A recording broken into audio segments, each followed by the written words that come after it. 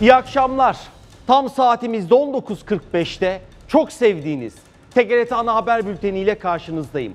Ben Deniz Ekrem Açıkel. Haydi buyurun bakalım. Kendi perspektifimizle 5 Kasım Perşembe gününün sizlere bir özetini çıkartayım. Hemen en başta söyleyeyim. Bugün yapacağım haberler, size anlatacağım canlı yayındaki özel haberlerle ahlak vurgusu yapacağız insanın neyin doğru, neyin yanlış olduğunu ayırabilme duygusu. Bu kez öz eleştiri yapacağız. Toplum olarak ne kadar ahlaklıyız? Bunu sorgulayacağız.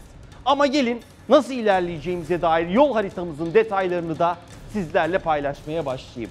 Amerika seçimi deyip es geçmeyeceğiz. Evet Türkiye'de bazı televizyonlar abarttı. Sanki Türkiye'den dakika dakika sandık, sonuç, yok eyalet, yok o şunu dedi, yok çöpte oy bulundu. Kendimize benzettik Amerika'nın seçimini de. Biz de haberleri aktaracağız ama yine farklı bir bakış açısıyla. Biden %99 kazanmış görünüyor. Trump direniyor ama Biden'ın en büyük vaadi ona ne kazandırdı? Amerika'daki arkadaşlarımla konuştum. Onları da aktaracağım. Trump'ın nasıl çöpe atıldığını da aynı Trump görüntüsüyle göreceksiniz birazdan.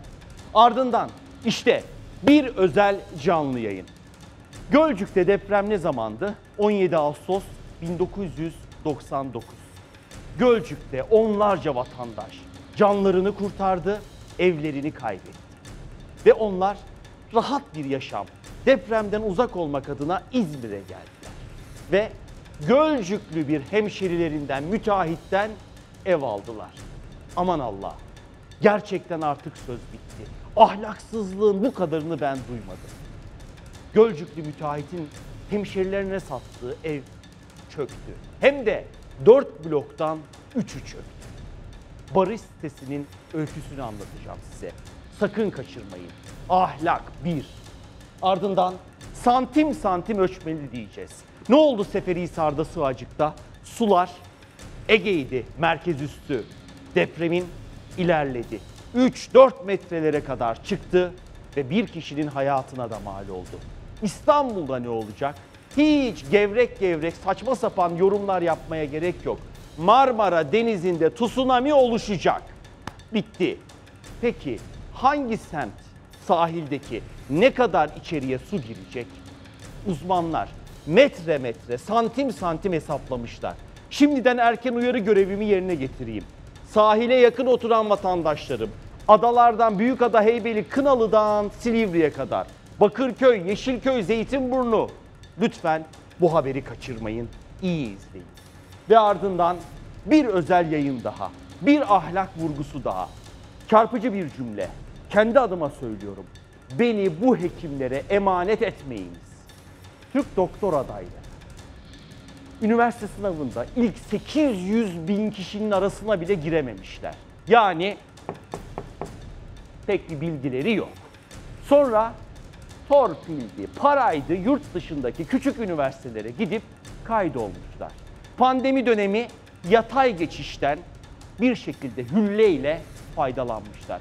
Gelmişler Türkiye'deki özel üniversitelerin tıp fakültelerine yerleştirilmişler. Evet, zayıf öğrenci, çok zayıf öğrenci tıp fakültesinde okumamalı, zaten kazanamıyor. Ben söylemedim, YÖK de şikayetçi, Yekta Saraç Hoca da bu işten çok şikayetçi. Evet, ahlak 2. Kimsenin kul hakkıyla oynamayın. İnsanlar burada çalışıp çabalayıp tıp fakültesine giriyor. Sizler hülleyle bunu yapıyorsunuz. Anlatacağım. Ve ardından da bir ruh hastasıyla tanışacaksınız. Yahu o sütü çocuklar içiyor. Yavrularımız içiyor. Yaşlılarımız, hastalarımız içiyor. Bırakın bizi. Sütün içine girmiş. Göya TikTok'a video yükleyecek ya. İşte kafa takıntılı, obsesif. Ve süt banyosu yapıyor süt fabrikasında. Bugün bir başka görüntü daha göreceksiniz. Bu ruh hastasıyla ilgili. Şimdi aranıyor, gözaltına alınacak ama meğerse o hayvanlara işkence yapan birisiymiş. O görüntüleri de göreceksiniz. Ahlak 3. KPSS'de beni uyaran arkadaşlarım. Sizi unutmadım. 95 puan mı büyüktür, 51 puan mı? Efendim? Meğerse Tekirdağ'da 51 puan daha yüksekmiş belediyede işe girmek için. İzleyeceksiniz. Haydi başlayalım. İstanbul'da beklenen deprem tsunami'yi de beraberinde getirecek. Deniz suyu metrelerce yükselecek. Tam 17 ilçenin kıyıları su altında kalacak. O ilçeler hangileri? Su kıyıdan ne kadar içeri girecek? İstanbul Büyükşehir Belediyesi'nin Orta Doğu Teknik Üniversitesi ile ortak öngörüleri az sonra.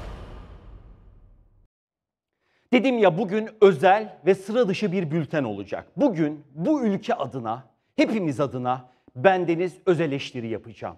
Konuşmaya geldiğinde hepimiz kul hakkı, adalet, doğruluk diye mangalda kül bırakmayız, bağırırız. Ama iş bizlerin menfaatine gelip dayandığında nasıl ahlaksızca davranabileceğimizi anlatacağım. Ahlak en dar anlamıyla kişinin neyin doğru ya da neyin yanlış olduğunu ayırabilmesidir. Yüzleşmeye hayır mıs- hazır mısınız? Önce acılar içinde yaşama tutunup bize ümit aşılayan yavrularımız.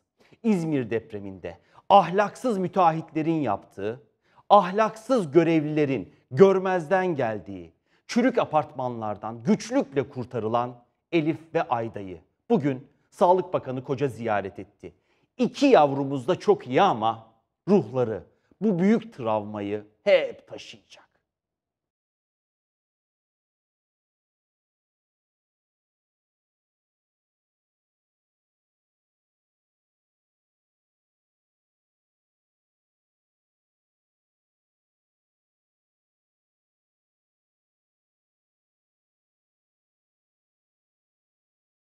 Ayda bebeğimizi ziyaret ettim.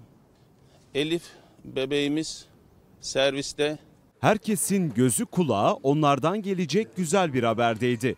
Bu görüntüler yüreklere su serpti.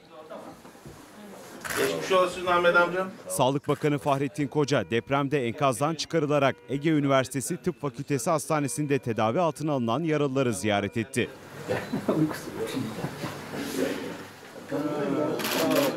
İlk ziyaretini 65. saatte sağ kurtarılan Elif'e yaptı. Küçük kız kocanın kucağından bir an olsun inmedi. Başını omzuna yasladı. Şaşkın bakışları yaşadığı korkuyu henüz atlatamadığının en açık örneğiydi. Koca daha sonra Rıza Bey apartmanının enkazından 91. saatte sağ çıkarılan minik Ayda'nın yanına gitti. Onunla da yakından ilgilendi, hediyeler verdi. Minik Ayda'nın Bakan Koca'dan başka bir isteği daha vardı. Aralarındaki diyalog herkesi gülümsetti. Başka bizden ne istersin? Maymun.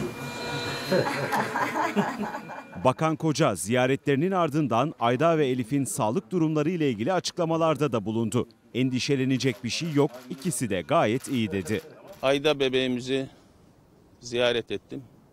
Kendileri yoğun bakımda. Ciddi bir sorunları yok.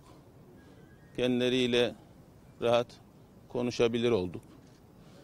Genel durumunun iyi olduğunu, bugün veya yarın servise çıkarılabileceğini söyleyebilirim. Elif bebeğimiz serviste kardeşleriyle birlikte bildiğiniz gibi tedavisi devam ediyor. Elif bebeğimizin de genel durumu iyi. Herhangi bir sorunu yok. Ablaları, ikizler, Ezel ve Elzem onlarla da muhabbet ettik. Bakan Koca enkaz altından 58 saat sonra yaralı olarak kurtarılan ve korona testi pozitif çıkan 14 yaşındaki İdil Şirin'le 17. saatte çıkarılan 16 yaşındaki İnce Okan'ın sağlık durumlarının da iyiye gittiğini söyledi. Bacaklarımı artık hareket ettirebiliyorum. Şimdi birileri çıkmış kimse çürük ve hasarlı binalarda oturmasın diyor. Evet çok haklısınız. Kimse oturmamalı ama bu nasıl olacak? İnsanların parası, imkanı var mı? Ya da parası ve gücü olsa kim 1975 model çürük apartmanda oturmak ister ki? İzmir'de hasarlı binalar boşaltılıyor ama benim canım İzmirlim kara kara düşünüyor.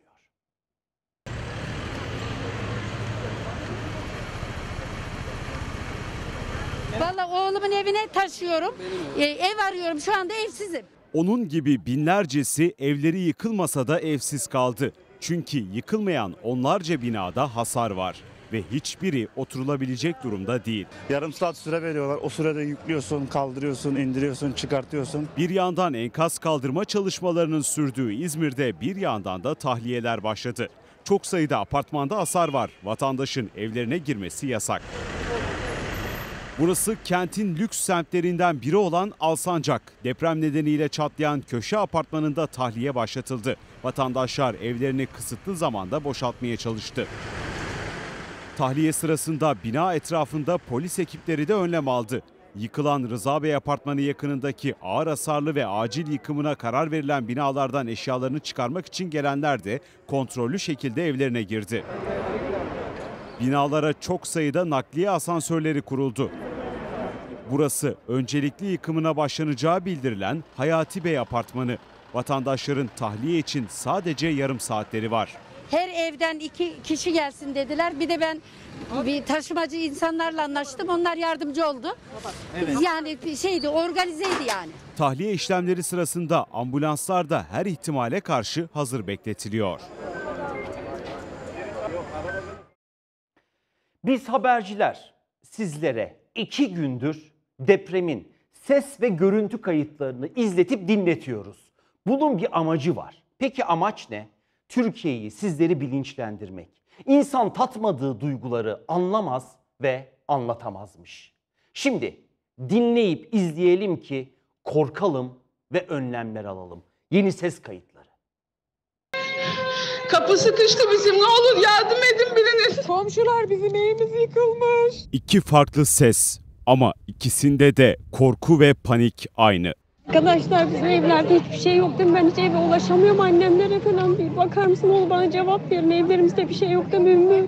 İzmir depreminde ağır hasar gören yerlerden biri de Cumhuriyet sitesiydi. İki binada depremde yan yattı.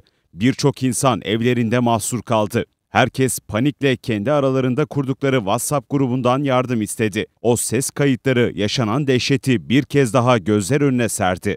Apartmanda olan bir bilgi versin ya ben de evde değilim çocuklar sokak kapı kilitli kalmış çıkamıyorlarmış açılmıyormuş sokak kapı. Ayla benim telefonlarım hiçbirine ulaşılamıyor. Ben telefonla hiç kimseye ulaşamadım. Apartmanda falan bir sıkıntı yok değil mi? Yıkık falan. Yan yatan binada sıkışan kapılar apartman sakinlerinin dışarıya çıkmasını engelledi. Aleyna diyor ki ev berbat halde anne diyor kapıyı açamıyorlar sokak kapıdan çıkamıyorlar biz şehir dışındayız. Nermin bizim kapı da sıkışmış gelirlerse gönderirim. Deprem anında şehir dışında olan Erkul ailesi ise en büyük korkuyu komşuları için yaşadı.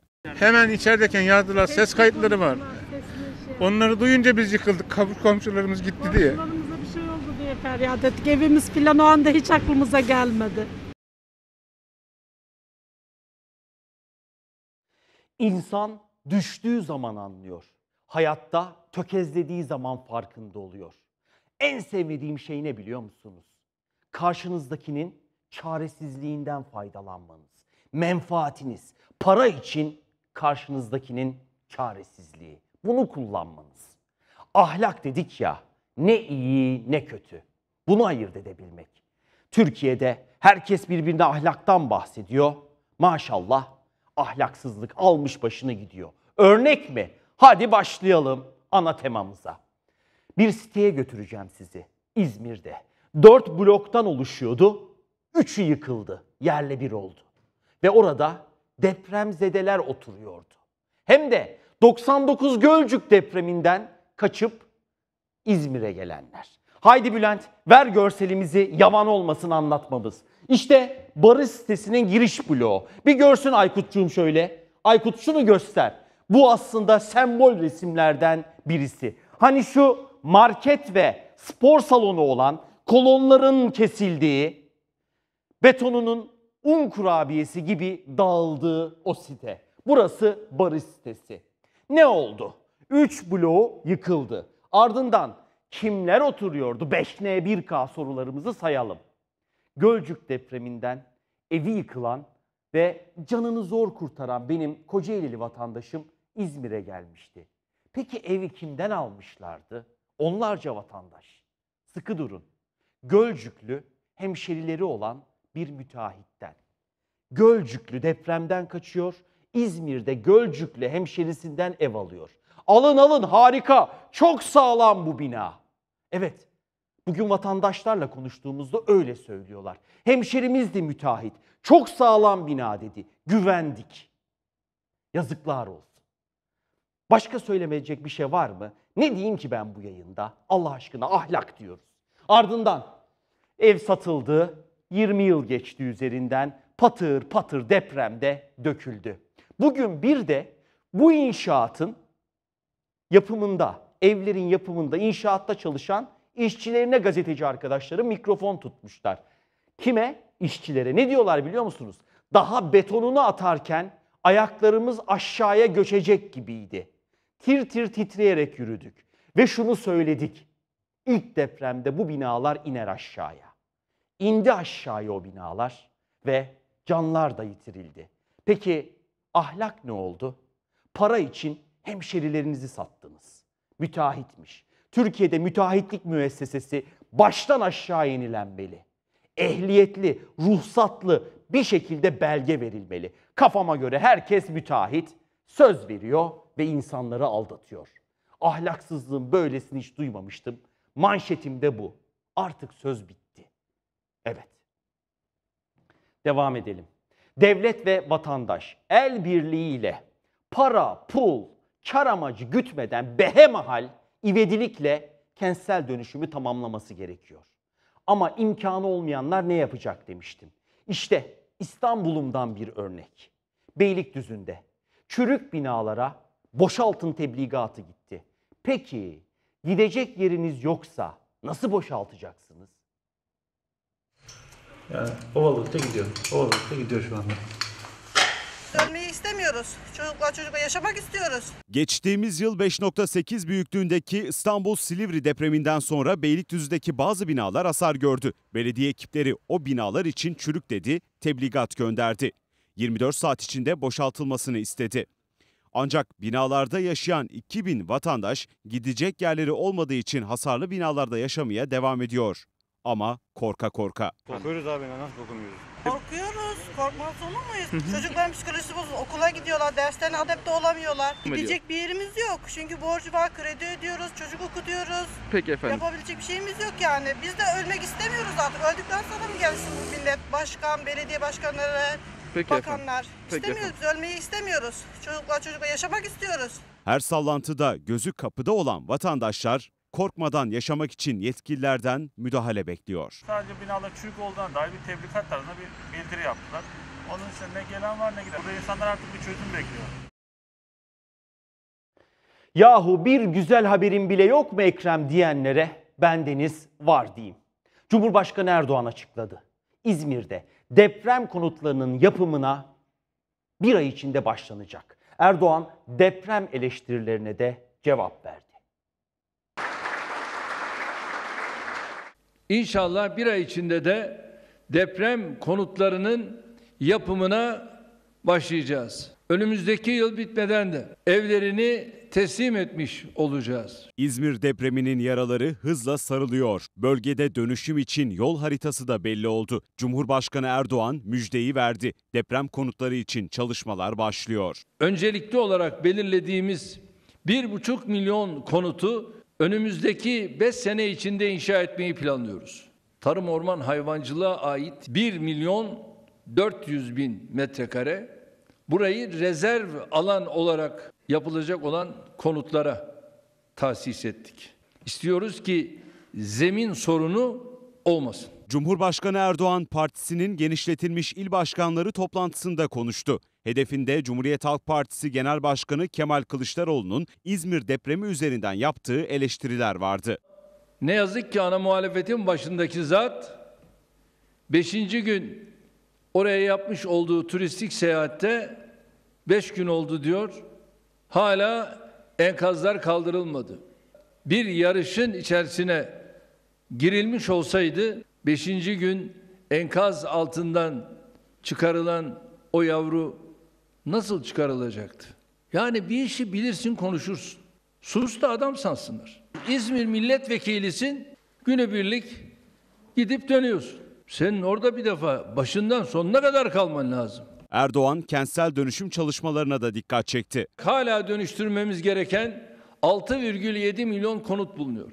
İstanbul başta olmak üzere bu süreci hızlandırmamız gerektiği anlaşılıyor. Cumhurbaşkanı Erdoğan bu noktada vatandaşlara da seslendi. Hiçbir meblağ insanımızın canından daha kıymetli değildir. Bu sadece kamunun imkanlarıyla olacak bir iş değildir. Milletimizin de oturduğu binanın depreme dayanıklılığını tespit ettirmesi gerekiyorsa kendisi de üstüne biraz koyarak hızla sağlam bina inşası için harekete geçmesi gerekiyor. Santim santim İstanbul'da sahilde oturanlar ölçsünler evlerinin deniz uzaklığını. Bu haberi de iyi izlesinler dedim. Başlayalım. Malum Türkiye'nin neresinde deprem olsa aklımıza gelen ilk gelen İstanbul oluyor. İzmir depreminden sonra da öyle oldu. Herkes o elimiz yüreğimizde beklediğimiz İstanbul depremini konuşur oldu. Ama bu defa bir fark var. Farkın adı tsunami. Çünkü İzmir'deki deprem daha önceki depremlerden sonra pek fazla konuşmadığımız tsunami gerçeğini de gözümüzün içine sokuverdi. Peki mega kenti nasıl bir tsunami bekliyor? Depremde tehlikenin boyutlarını İstanbul Büyükşehir Belediyesi ve Orta Doğu Teknik Üniversitesi'nin yaptığı ortak çalışma tüm çıplaklığıyla ortaya koydu. Kulak kesilin.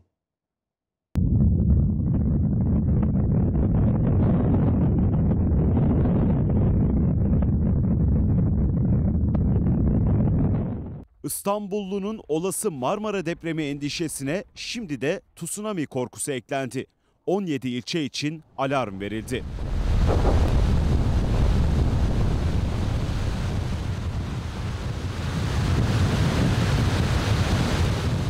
Çalışma İstanbul Büyükşehir Belediyesi ve ODTÜ işbirliğiyle gerçekleştirildi.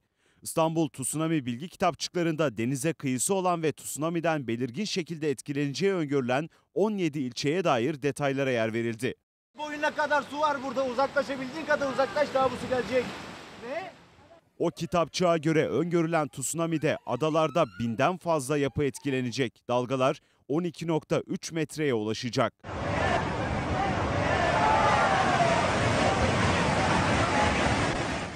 Senaryoya göre Silivri'de su basma mesafesi 2000 metreyi bulacak. 1500'den fazla yapı tsunami'ye maruz kalacak. Avcılarda su basma mesafesi 780, Büyükçekmece ve Fatih'te 650, Zeytinburnu'da 470, Beylikdüzü'de 350, Küçükçekmece'de 230, Bakırköy ve Beşiktaş'ta ise 200 metre olacak. Beyoğlu'da 170'ten fazla yapının etkileneceği de kitapçıkta yer alan bilgiler arasında. Dalgaların Kadıköy ve Maltepe'de ise 7 metreyi aşacağı öngörülüyor. Pendik'te mesafenin 400, Kartal'da 300, Tuzla'da 600, Üsküdar'da ise 365 metre olması bekleniyor.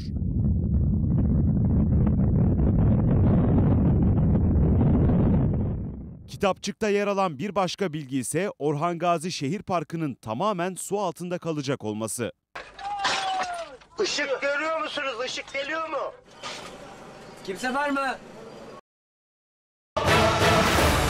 Trump'la Biden arasındaki nefes kesen yarış sürüyor. Son viraja Biden önde girdi ama Trump peşini bırakmıyor. Seçmenlerse sokağa döküldü. Yarışın sonucunu etkilemeye çalışıyor. Amerika'dan seçim manzaraları canlı yayınla az sonra. Haydi Güney Kafkasya'daki sıcak bölgeye bir kısmı hala Ermeni işgali altındaki Karabağ'a gidelim. Gerilim çok yüksek. Diplomasi kanalları ise tamamen kapalı gibi görünüyor. Çünkü Ermenistan sivilleri vurmaktan bir türlü vazgeçmiyor. İlham Aliyev de artık bıktı. Paşinyan'la görüşmenin bir anlamı yok dedi.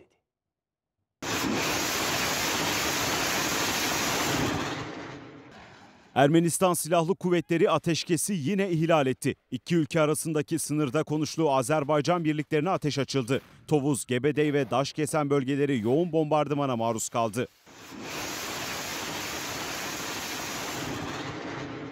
Azerbaycan Cumhurbaşkanı İlham Aliyev'den bir açıklama geldi. Aliyev, Paşinyan'la görüşmenin hiçbir anlamı yok. Bu tamamen faydasız dedi.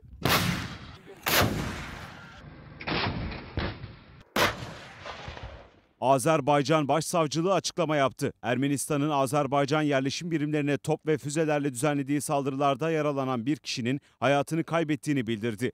Bu doğrultuda sivil can kaybı sayısının 92'ye çıktığını duyurdu. Ermenistan askerlerinin Azerbaycan tarafından yürütülen operasyonlar sırasında cepheden kaçtıkları belirtildi. Kaçarken bıraktıkları askeri teçhizatlarsa görüntülendi.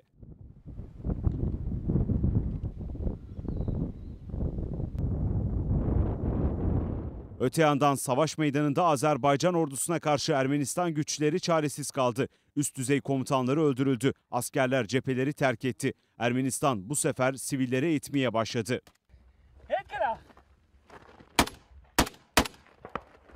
Azerbaycan Cumhurbaşkanı Yardımcısı Hikmet Hacıyev bazı görüntüleri paylaşmıştı. Görüntülerde çocukların saldırılar sırasında Ermeni askerlere yardım ettiği, topları ateşlediği açık bir şekilde görülmüştü.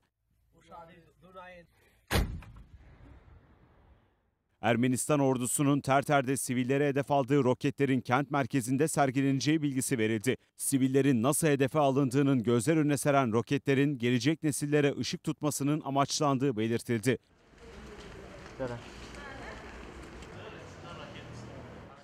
Müze önünde roketleri inceleyen Zaur Alişov, başkomutanımıza güveniyoruz ve arkasındayız dedi. O gün olsun ki mənfur ermənilər buradan tez geçsin, öz bayrağımız Şuşa adalasında taxılsın. Biz də öz yaşayışımızdan yaşayırıq, yaşayacağım da. Nə qədər ki bizim baş komandanımız var, ona da arxayınıq. Azerbaycan Ermenistan'a ait bir kışlayı da imha etti. O anlara ait görüntüleri Savunma Bakanlığı paylaştı.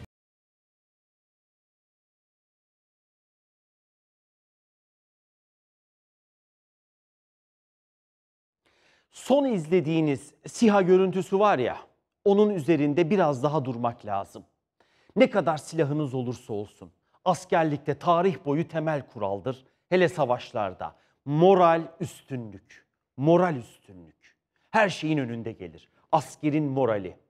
Azerbaycan ordusu öyle nokta atışları yapıyor, öyle kritik vuruşlar gerçekleştiriyor ki Ermenistan askerlerinin gerçekten morali yerle bir oluyor. Son görüntüden devam edeyim. Tonaşen vurulan yerin adı. Terter vilayetinde, rayonunda önemli bir askeri karargah. Ermenistan ordusu oraya konuşlanmış. Komutanlar orada. Çok sayıda önemli silah, karar mekanizmaları, birçok asker tabur orada.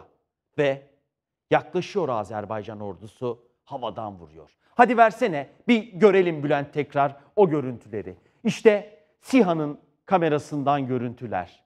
Tam nokta atışlar yapılıyor. Bir parça bulanık görüyorsunuz. Bakın sürekli alev çıkıyor. O alev mühimmat deposu olduğunu gösteriyor. Bakın içeride kullanılmamış henüz dolu olan mühimmat nasıl infilak ediyor. Nokta atışı.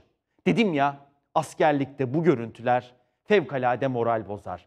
Bir ordunun karargahı vuruluyorsa cephedeki askeri çok fazla dayanamaz. Diaspora, diaspora, diaspora diyoruz. Bir takım eylemlerde de başarılı oldular. Onu da söylemek lazım.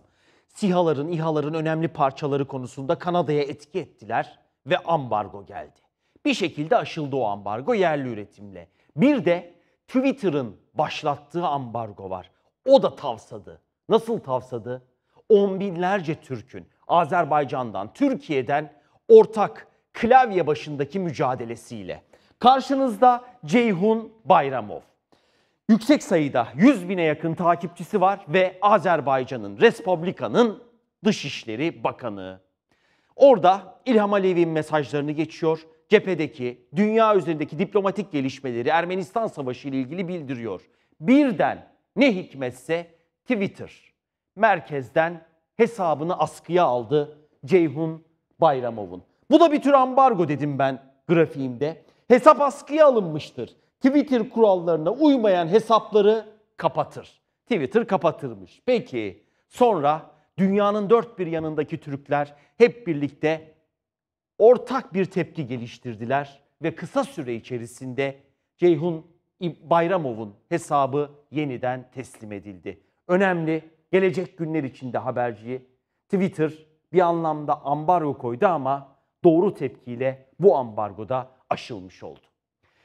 Bize bakalım maalesef. Hakkari'den acı haber var. PKK'lı teröristler bu defa Derecik'te saldırdılar. Ama askere, polise değil. Onların da güçleri onlara yetiyor. Yol çalışması yapan savunmasız işçilere. Saldırıda 3 işçi hayatını kaybetti. Sonraki operasyonda ise dişe diş mücadelede 5 terörist öldürüldü. Bu kez yol yapan işçilere saldırdılar. Füze ve uzun namlulu silahları ard arda ateşleyip Hakkari Derecik'te kan döktüler. Hain saldırıda bir işçi olay yerinde, diğer ikisi kaldırıldıkları hastanede şehit oldu. Şehit işçilerin Selim Gündüz, Zeki Ölmez ve Mehmet Reşat Keskin olduğu açıklandı. PKK'lı teröristlerin katlettiği Selim Gündüz 19 yaşındaydı. Askere gitmek için hazırlık yapıyordu. Yaşasaydı 10 gün sonra askere gidecekti. Gidiyordu, çalışıyordu. Para topluyordu yani askere gidecekti. O kadar iyi bir insandı ki mükemmel bir insandı. O yüzden yani e, küçüğünden tut büyüğüne kadar her hepsi perişan. Saldırının hemen ardından operasyon başlatıldı. Şemdinli sınır bölgesinde sıcak dakikalar yaşandı. Eylem hazırlığındaki teröristler tespit edildi. Komandoların ateş çemberi o teröristlerin sonu oldu. 5 terörist öldürüldü. Bölgede başlatılan geniş çaplı operasyon sürüyor. Sırada Amerika'daki seçimler var. Peşin peşin söyleyeyim. Biden artık kazandı diyebiliriz. Biraz sonra Washington'a bağlanıp tecrübeli gazeteci arkadaşım Serdar Cebe'den tek soruyla son durum fotoğrafını çekeceğiz. Ama ondan önce son 24 saat içinde neler yaşanmış? Buyurun bitmek bilmeyen Amerika'nın seçimine bir bakalım.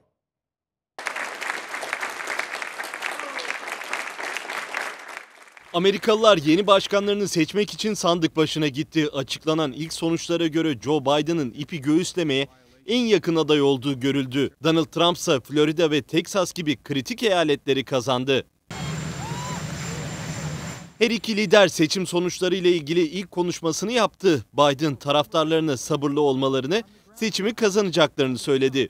Donald Trump, Kuzey Carolina'da oy sayımının bir daha durduğunu belirtti. Trump seçimlere hile karıştırıldığını iddia etti. Yüksek mahkemeye gideceklerini belirtti.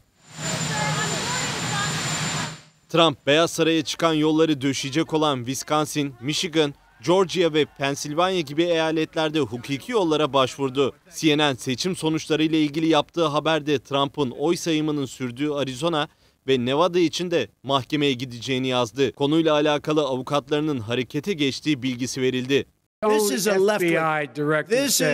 Mevcut başkan Donald Trump'ın paylaşımlarına yine Twitter'dan erişim yasağı geldi. Trump seçim sonuçlarıyla alakalı şu ifadeleri kullandı. Avukatlarımız anlamlı erişim istedi. Ancak bunun ne faydası var? Sistemimizin bütünlüğüne ve başkanlık seçiminin kendisine çoktan zarar verildi. beginning, Biden-Harris ikilisi geçiş dönemi ekibi ve web sitesini aktif hale getirdikleri iddia edildi. Resmi olmayan sonuçlara göre Biden'ın başkanlığı kesinleşti. Joe Biden rakibi Trump gibi açıklamalarda bulundu. Satır başlıklarında Amerikan başkanı olacağı yer aldı. 270 delegeye sahibiz diyebilirim. Ben bütün Amerika Birleşik Devletleri'nin başkanı olacağım. Öte yandan Joe Biden, Donald Trump yönetiminin Paris İklim Anlaşması'ndan resmen ayrıldığını belirtti. Ancak kendi yönetiminin tam 77 gün içerisinde yeniden döneceğini belirten bir tweet iletisi paylaştı. Şimdi bizim Türkiye'deki önemli seçimlerimizde hep ezberimize geçen beylik ifadeler var. Dün de söyledim ya, mazbata alındı mı? Sandıklara sahip çıkıldı mı? Sandık başlarını terk etmeyin arkadaşlar. Daha bitmedi hiçbir şey. İnanın birebir kopyası Amerika'da yaşanıyor. Kim derdi ki böyle olacağını?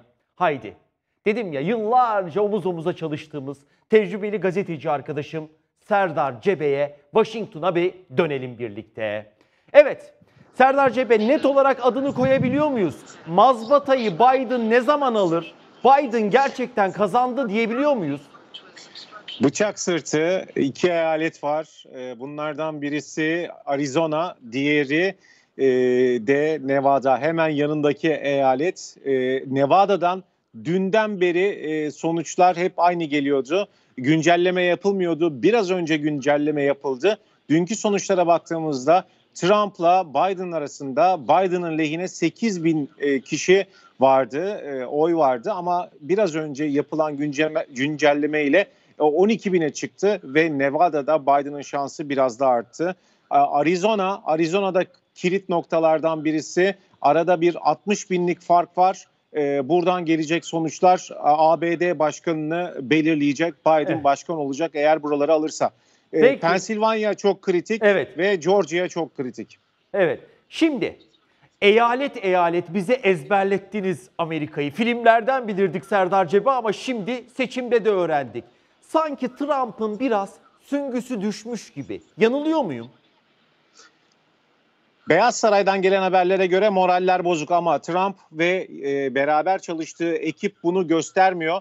E, mahkemelerde e, biz bu hakkımızı savunacağız diyor. En son Georgia'da e, oyların sayılmasının iptal edilmesini istemişti. Yine biraz önce gelen habere göre Georgia'daki hakim bu isteğini reddetti. Sadece Pensilvanya'da sandıklara 6 feet yani 1.8 metre e, partililerin yaklaşmasına izin verildi. Bir zafer olarak o görülüyor. E, şu anda e, bıçak sırtı diyorum E, çünkü Pensilvanya, Georgia, e, Kuzey Carolina, Arizona buraları çok önemli. E, her an e, dönme ihtimali de var ama e, ibre biraz daha Biden'ın lehine gibi görünüyor. Son ve kısa bir soru. Bilmiyorum bu analizime ne dersin? Bence Amerika'nın bürokrasisi, devlet yapısı da Biden'ın biraz yanında gibi geliyor. Seçimle, mahkemelerle ilgili kararlarda. Ona ne dersin?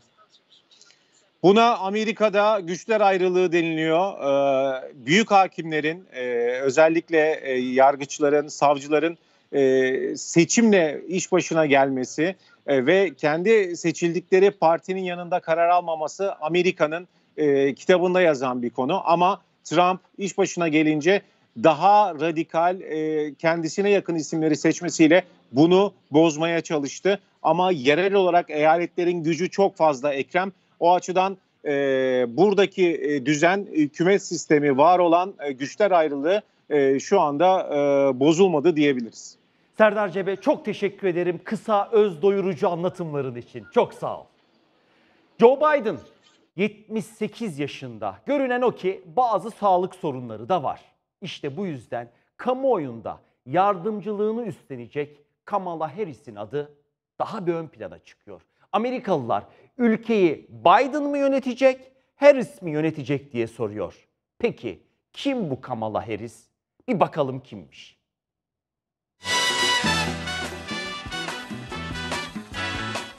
Tüm dünya ABD seçim sonuçlarına kilitlendi. Her iki aday kameralar karşısına geçti. Değişik açıklamalarda bulundu. Bu süreçte Demokrat Parti Başkan Yardımcısı adayı Kamala Harris dikkatleri üzerinde topladı. Biden başkanlığa çok yaklaştı ancak yaşı ve sağlık sorunları sebebiyle farklı bir isim gündeme geldi.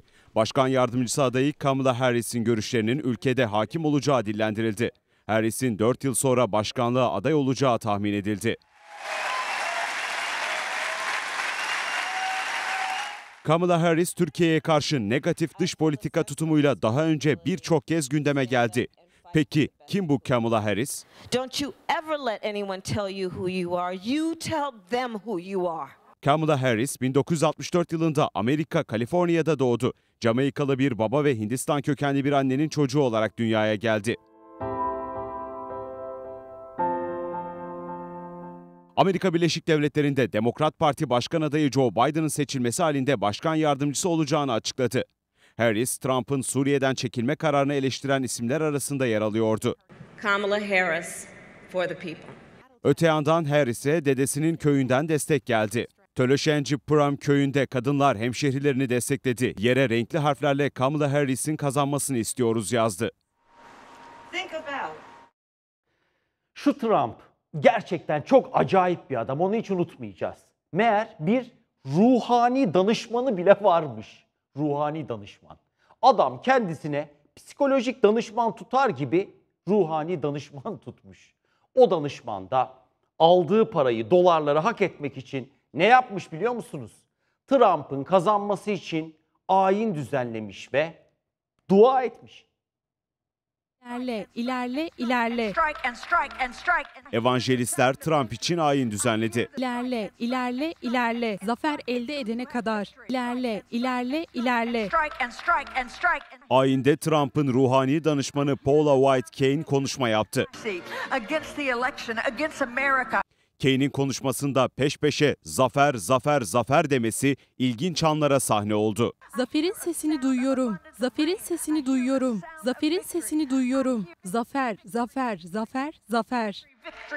Ayin sırasında Kane, Trump'tan seçimi çalmaya çalışan şeytani konfederasyonları diyerek Biden tarafını hedef aldı.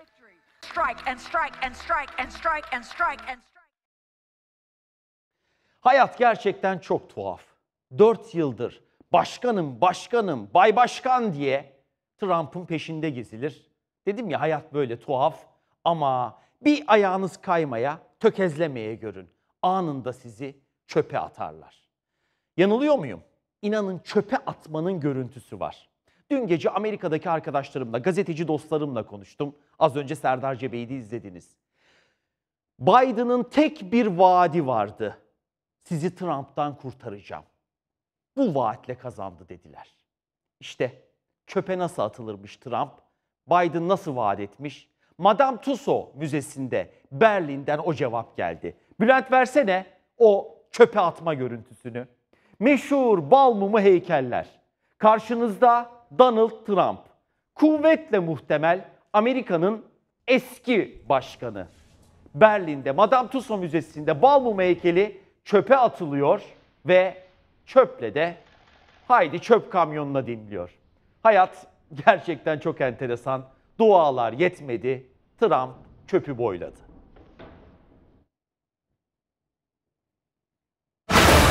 Burası bir süt işleme tesisi. Tesiste çalışan bir maganda süt teknesine girmiş, süt banyosu yapıyor. Banyoda kullandığı süt de paketlenip halka satılıyor. O tesis nerede? O maganda kim? Hakkında işlem yapıldı mı? Sütteki maganda az sonra. Haydi 10 saniyede virüsün son 24 saatinde bir özetleyeyim sizlere. Sağlık Bakanlığı'ndan sevimsiz tablo geldi. 146 bin, 150 bine yaklaştık bugünkü test sayısı. Bugünkü hasta sayısı çok benziyor dünkü rakamlara. 2311. Vefat sayısında 80'in üzerine de çıkılmış durumda. 81 kişi hayatını kaybetti. İyileşen hasta sayısı 1714. Baktığınızda fark yine 600'lerde. Toplam can kaybı 11 binlere ulaşmak üzere 10.639 insanımızı maalesef virüs nedeniyle kaybettik. Durum vahim. Bunu diyoruz ama elbette umutlandıran gelişmeler de var. Neyse ki biliyorsunuz. Çin'de, Amerika'da Almanya ortaklığında üretilen aşı çalışmalarında artık son aşamaya gelindi. Rus aşısını unuttuk zaten. Bugün bir sevindiren haber de bizden var. Yerli aşıda şükürler olsun artık insan deneyleri başladı. Güzel haber Sağlık Bakanı Fahrettin Koca'dan geldi. Yerli aşıda ilk uygulama yapıldı. Yani bugün Türkiye'de yerli aşımızın insan uygulaması ilk defa başlamış oldu. Koronavirüsle mücadele devam ediyor. Bugüne kadar denenen aşıların tamamı Çin'den gelen aşılardı. Türkiye'deki aşı çalışmalarında önemli aşama kaydedildi. Yerli ve milli aşı ilk kez bir denek üzerinde uygulandı. Vallahi çok şu an çok duyguluyum. İnanın e, böyle bir çalışmada bulunmaktan e, çok haz oluyorum. Burada emeği geçen tüm e, doktorlarımıza da teşekkür ediyorum. Böyle bir yerli ve milli aşıya imza attıkları için. İnşallah insanlara umut olurum. Aday aşı gönüllülere 3 hafta arayla 2 kez uygulanacak. 18-55 yaş arasında sağlıklı ve daha önce koronavirüs geçirmemiş 44 gönüllü üzerinde denenecek. Üniversitemiz tarafından geliştirilmiş olan olan COVID-19 aşımız ve Türkiye'deki diğer merkezlerimiz tarafından geliştirilen COVID-19 aşılarımızla birlikte inşallah COVID-19'a karşı milli aşı, aşılarımız geliştirilmiş olacak ve en kısa zamanda insanlığımıza, vatandaşlarımıza sunmuş, sunulmuş olacak. Emeği geçen herkese çok teşekkür ediyorum. Faz 1 çalışmasının 5 Ocak 2021 tarihinde bitirilmesi planlanıyor. Çalışmanın başarıyla tamamlanması halinde Ocak ayında faz 2 çalışmalarına geçilecek. Mustafa Kemal Atatürk'ün en veciz sözlerinden biridir. Hepimiz de bir slogan gibi ezbere biliriz. Beni Türk hekimlerine emanet ediniz. Kusura bakmayın.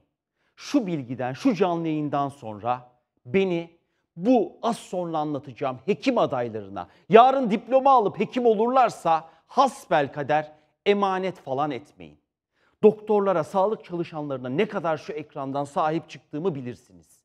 Ama bu kez durum farklı. Ahlak mı dedik? Ahlak dedik değil mi? Haydi Türkiye'nin ahlakla yüzleşmesi. Bir canlı yayın daha. Karşınızda Hülle ile Türkiye'de özel tıp fakültelerine giren on tip, hadi gençlerin öyküsü diyeyim. Verilen hak. Nedir o verilen hak? Pandemi döneminde ilk bine girip, üniversite sınavında ilk bine girip ciddi bir derece ama ben yurt dışında tıp okuyacağım diyen çocuklarımızın, gençlerimizin sonra diş hekimliği de dahil buna pandemi nedeniyle Türkiye'deki üniversitelere yatay geçiş yapma hakkı. Uzun oldu değil mi? Daha kısa ifade edeyim. Hakkıyla yurt dışında tıp fakültesi kazanıp dereceyle okuyan çocukların, diş hekimi çocuklarımızın aday tabii Türkiye'ye geri gelmesi, buradaki bir üniversiteye yerleşmesi. Harika. YÖK doğru karar almış. Zor dönem virüs dönemi. Ama verilen hak böyleyken Türkiye'de ne olmuş? Allah aşkına. Diyorum ya ahlak, kul hakkı. Böyle bir şey olabilir mi? Üniversite sınavlarında Türkiye'de ilk 800 bin kişi arasına giremeyen, efendim ilk 800 bin kişi arasına giremeyen belli seviyede, o seviyeyi tahmin ediyorsunuz. Kimi gençler gitmişler bu yasayı duyunca ya da bu geçiş hakkını yasa demeyeyim. Yurt dışında bir tane uyduruk üniversiteye kayıt yaptırmışlar. Pandemi dönemi bu kuraldan ben de faydalanmak istiyorum diyerek gelmişler Türkiye'deki kimi özel üniversitelerin tıp fakültelerine yatay geçiş yapmışlar. Bakar mısınız hale? Hülle'ye bakar mısınız?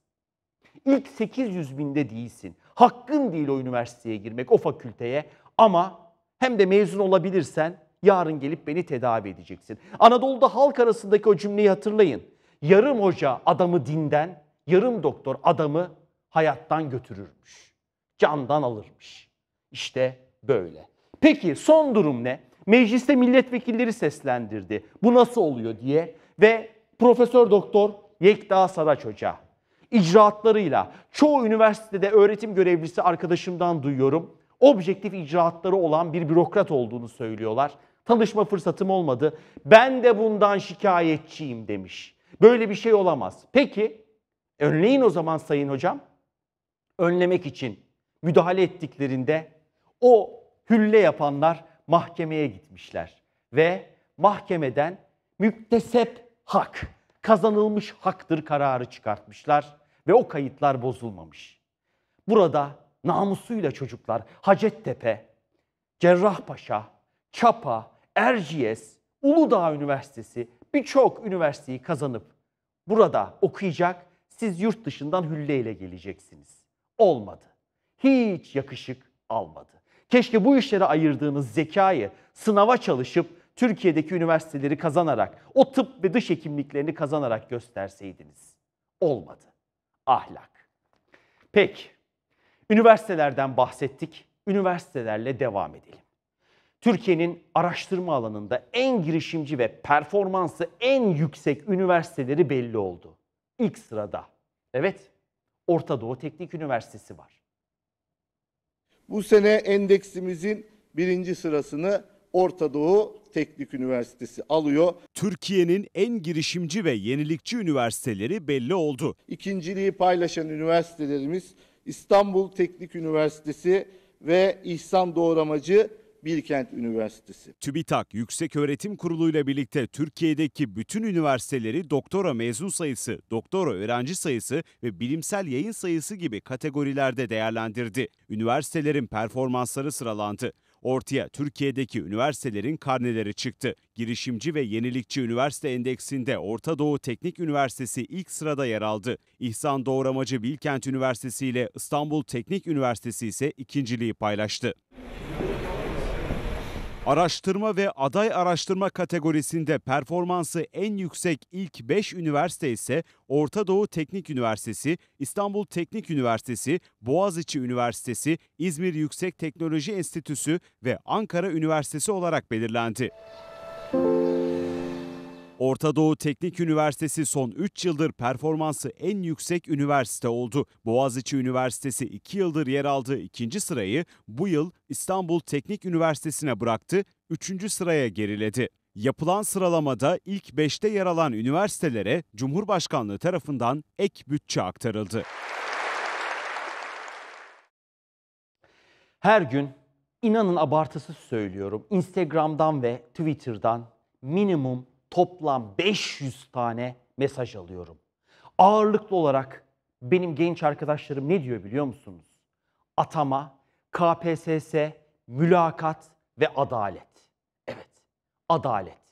Sınavdan yüksek puan alacaksınız, mülakata gideceksiniz, eleneceksiniz. Torpilli biri gelecek, sizin önünüze geçecek. Bu olduğu zaman hep eleştirdik. Ama iddia nereden gelirse gelsin hiç fikrine, partisine, zikrine bakmadan namuslu gazetecilik gereği, ahlak gereği aktarmak gerekiyor. KPSS, işsiz, üniversite mezunu arkadaşlarım buyurunuz o haber. Şimdi İstanbul'un yanı başında bir belediyede nasıl adrese teslim torpilli işe adam alındığını size anlatacağım. Ve buradan da objektiflik gereği CHP lideri Kemal Bey'e, Kemal Kılıçdaroğlu'na da birlikte sesleneceğiz. Öncelikle gelsin bakalım. Ahlak vurgusu 4. Karşınızda Şarköy Belediye Başkanlığı'nın ilk defa atanmak üzere memur alım ilanı. Şarköy Belediyesi'ne memur alınacak. Mühendisler alınacak, uzmanlar alınacak. Karşınızda liste. İsimleri kapattım. TC numaralarını kapattım. Fakat KPSS puanlarını açık bıraktım. Gel güzel Aykut kameraman arkadaşım. Bakın harika. 100 üzerinden 82 ile başlamış. Mimar iniyor. 81, 79, 75 arada 89 var. Harika değil mi? Nefis. Kurallara uyulmuş. Bakın burada bir puan var. 59, 67, 62, 61. Nasıl oluyor? Şimdi dursun cebinizde bu bilgi. Bir de bana bu bilgileri yollayan arkadaşımın kendi sınav sonuç belgesini göstereyim. 61 puanı, 52 puanı unutmayın sakın KPSS. Bakın arkadaşım nasıl bir puan almış. İşte burada. Onun puanı kaç? 74. Ne diyor biliyor musunuz? Ekrem Bey, ta Gebze'den kalktım. Gebze'den kalktım. Ta Şarköy'e gittim. Arada en az 200 kilometre yol var. Gittim belediye evrakımı verdim. Kimse yüzüme bile bakmadı. Ondan sonra bunu size yazdım. İşte Ekrem Bey, Şarköy Belediyesi bize matematiği yeniden öğretti. Mühendis adam, üniversite mezunu söylüyor bunu, matematik uzmanı. Meğer bizler matematiği yanlış biliyormuşuz. 67, 77'den yüksekmiş. Efendim? 67 rakam olarak, puan olarak 77'den yüksek olabilir mi? Şarköy Belediyesi'nde arkadaşlarımın iddiasına göre böyleymiş. Şimdi hep liyakat, mülakat kaldırılsın, mülakatlarda torpil işliyor diyen CHP lideri Kemal Kılıçdaroğlu'na buradan seslenelim.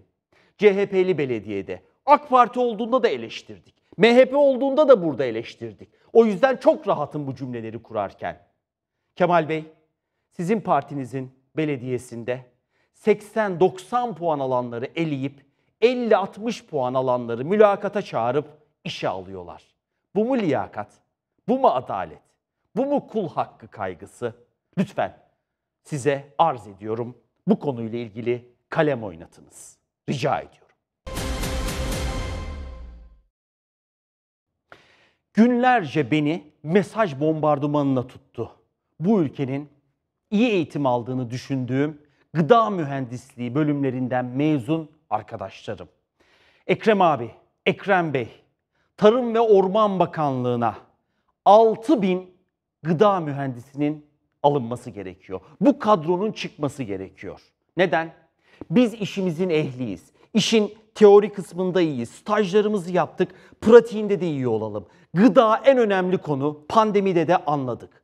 Bize görev versinler. Biz bilgiyle, birikimimizle bu konuları çözeceğiz. Böyle ruh hastalarıyla kimse muhatap olmayacak.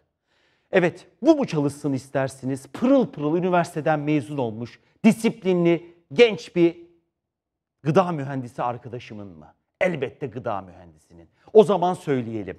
Meclis, Hazine ve Tarım Bakanlığı behemahal gıda mühendisleri için kadrolarınızı açıverin.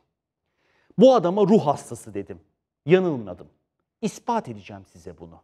TikTok var ya TikTok. Orada hesabı varmış. Ve bir seyircim bültenden önce bana mesaj yolladı. Bu öyle bir ruh hastası ki hayvanlara işkence bile ediyor dedi. Allah Allah dedik. Baktık görüntülerine. Gerçekten de o görüntüler var. Çok rahatsız olmayacaksınız. Yavrucak bir köpeği arabadan sarkıtmış, zorla arabanın hızında koşturmaya çalışıyor. Dedim ya ruh hastası işte. Versene Bülent görüntüleri. Bazı ruh hastalarına, toplum düşmanlarına, ahlaksızlara hayvan demek iltifat gibi geliyor bana. Pandemi döneminde özellikle de o sokağa çıkamadığımız günlerde birçoğumuz televizyonun karşısında vakit geçirdik. Çoğumuz da online hat üzerinden dizi ve film izledi. Netflix'i tercih ettik. Ama tam da o günlerde Netflix'in rütük yapımları, yaptırımları yüzünden Türkiye'den çekileceği iddiaları ortaya atıldı. Peki Netflix ne yaptı? Evet, Rütük'ten lisansını aldı ve Türkiye'de kalıcı olduğunu ispatladı. Online dizi ve film platformu Netflix Rütük'ten lisans aldı. Netflix Türkiye'de faaliyetlerine devam edecek. Radyo Televizyon Üst Kurulu gayri ahlaki unsurlar içeren bir Türk dizisi nedeniyle Netflix'i uyarmıştı. Bunun üzerine Netflix dizinin çekimlerini iptal etmişti. Yaşanan bu gelişmenin ardından Netflix'in Türkiye pazarından çekileceği iddia edilmişti. Ancak online dizi ve film platformu Netflix Türkiye'de kalmaya karar verdi. Bu kapsamda Netflix tıpkı yerli örnekleri gibi yükümlülüklerini yerine getirerek Radyo Televizyon Üst Kurulu'ndan lisans aldı. Netflix lisans almadan önce yine Rütük'ün kararına uyarak çocuk istismarı görüntüleri içeren Minnoşlar adlı filmi kataloğundan çıkarmıştı. Sadece Netflix değil, Amazon Prime Video, Fizi, Power App Müzik gibi kuruluşlar da Rütük'ten lisans aldı. Bu kapsamda lisans alan kuruluşlar kanunlar çerçevesinde internet üzerinden isteğe bağlı yayıncılık gerçekleştirebilecek. Söz konusu lisans işlemi 10 yıl süreyle geçerliliğini koruyacak. İnternet üzerinden yayın yapan kuruluşlar da Rütük denetimine tabi olacak. Güzel haberle bitirelim. Şimdi size marketlerde Norveç somonu diye satılan somon balıklarının %90'ının benim güzel Şanlıurfa'mda yetiştirildiğini söylesem olmaz mı? Olur olur. Bakın hem de nasıl güzel olur.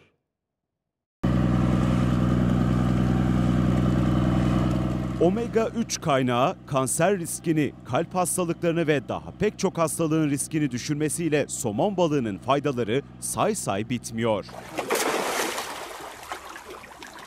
Somon deyince aklaysa Norveç somonu geliyor. Japonya'daki sushi'de, İtalya'daki makarnaya kadar dünya genelinde 14 milyon öğünde tüketiliyor. Türkiye'de de tercih edilen Norveç somonunun %90'ı ise aslında Türk somonu. Pazarda görünen somonun çoğu Türk somonudur. E, Maalesef e, Norveçler biraz daha çok reklam yaptıkları için bizim somonumuzu da Norveç somonu diye satıyorlar. %90'ı Türk somonudur. Balık pazarına somon balığı ilk olarak Norveç somonu olarak girdi. Daha sonra Türkiye'deki balık üreticileri de somon balığını çiftliklerde üretti. İç pazarda satışı başladı. Ancak daha önce oluşan Norveç somonu algısı kırılmasın diye yerli somonlar da marketlerde Norveç somonu olarak satılıyor. Fırat Nehri'nin soğuk olması sayesinde yılın 12 ayı üretilen Türk somonunun Norveç somonundan farkı ise daha lezzetli olması. Tabii ki Türk somonu daha kaliteli ve e, lezzeti de Norveç'ten daha iyidir. Ahlak, ahlak, ahlak dedik. Bir insanın neyin iyi, neyin kötü olduğunu ayırt edebilme duygusu. Çocuklarımızı ahlaklı yetiştirelim. Evet, şucu bucu ocu insan yok. İyi insan, kötü insan var. Ahlaklı insan, ahlaksız insan var. Biz ahlaklılardan olalım. Çok şükür. Yarın akşam 19.45 buluşma saatimiz. Görüşmek üzere.